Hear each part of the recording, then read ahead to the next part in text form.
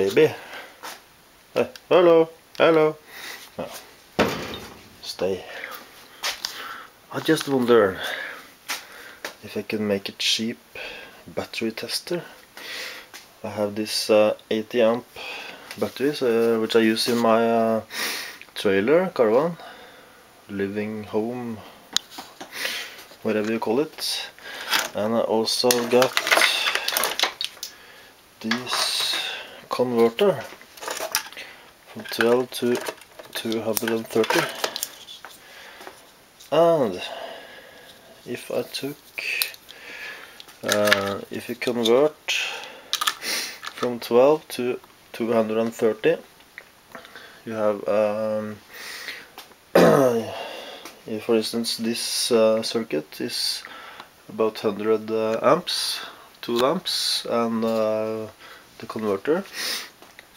And you take the battery uh, to provide the power. And if you load start it up then and you see we are ordinary light. And this circuit is 100 amps. And I can um, adjust the amount of power being pulled out. If I just um, use my amp measuring uh, tool and just zero turn it to zero there. And then you clamp it on there and you see. This is 11 amps. Oh that's about not very good uh, I think the pot meter is uh, a little bit faulty.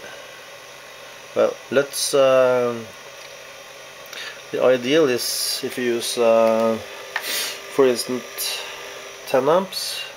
This was 11 and um, you can then uh, take the time from uh, which you started the converter to uh, when you um, finished. I used uh, this um, clock. Um, a timer for uh, any application. Just set it to if you can see that. Oh, it to 24 0 0 and just let it uh, run. And the idea is that when the battery is drawn to about 10.8 volts which the lower limit. This uh, converter turns off. And so does the timer. Very convenient and then you can take the hours which uh, if, if, you have uh, five hours of uh, running time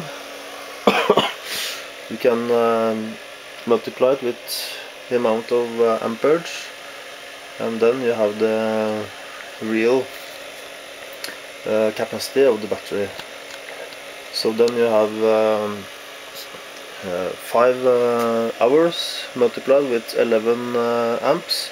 55 amp hours what do you call it?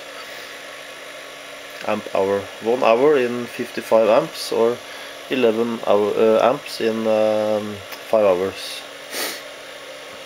I always use a fuse. Use a fuse. I always fuse the, um, the wires. So I don't um, come in a situation where I can short the battery because that will be a hazard and uh, potential um, fire going on. So this was uh, just a test because uh, the tester on uh, my work just died and uh, I, oh my god I don't have money for a new one. So I thought this is a secondary solution and it's very well it's running well and I can live with that because I'm not testing that uh, that uh, many hour um, many batteries during the year. And a lot of junk here everywhere. Tools old tools new tools something new. Yeah. Of stuff. We wake up late yet no too cold. Too, too cold for the baby call what do you call that? Hmm. Well well. Um, I'm not going to stand here in uh, five hours so um, that was the reason I um, put in this uh, timer. It's very handy thanks for watching.